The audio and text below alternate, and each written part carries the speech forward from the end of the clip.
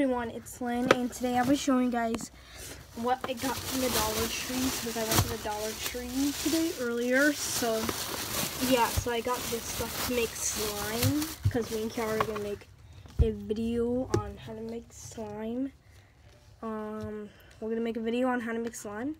Kiara's outside right now, and I have to eat first, so yeah. So I got Tide laundry detergent, but I'm not gonna bring this outside because my mom doesn't want me to bring it out. So yeah, and there's a little bit in here. So for slime, and then I got glue. This is not this is um not Elmer's glue, but it'll still work because it's glue. Sorry about my voice. Like I have like a cold, kind of. This is the brand Jot. So yeah, and there's two bottles inside, so I thought that was really cool.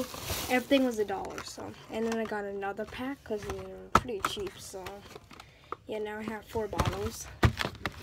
And then just for fun, I got glitter glue. I, I got glitter glue, which I'm gonna bring outside, and I'm gonna bring one bottle of glitter glue outside because Kiara already has a bottle of glue in her house.